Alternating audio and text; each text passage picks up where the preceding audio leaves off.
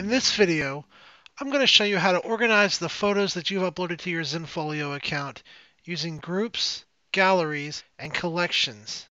Groups are a lot like folders. They can contain other groups, galleries, and collections. However, you can't upload photos to a group. The All Photographs group is your top level group for your account. This is where you'll do all of your main organizing. I suggest starting off by organizing by year. I've created a group for 2016 and inside of it, you can see I have two client galleries. What I would like to do is create a client group inside of that 2016 group. So I'm going to click on my 2016 group, go to the drop down, create new group, and name this clients. Now in order to move these two galleries to this clients group, I'm going to multi-select them in the preview section. I'm doing this by holding command and clicking on the galleries.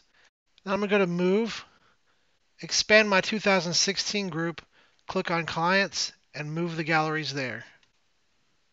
Your photos are uploaded to and stored in galleries. Here is where you can also change the access control settings and the price list that's applied to the gallery as well. By default, the gallery's cover photo is the first image in the gallery. However, you can designate another image by clicking on the image accessing the drop-down and hitting Select as Cover Thumbnail. Here you can set this image to be the cover photo for this gallery, a group, a collection, or even another gallery if you wish. Once you've made your choice, click Assign. Since this gallery is password protected, as indicated by the yellow padlock, we need to remove this protection from the cover photo so it's visible to your visitors.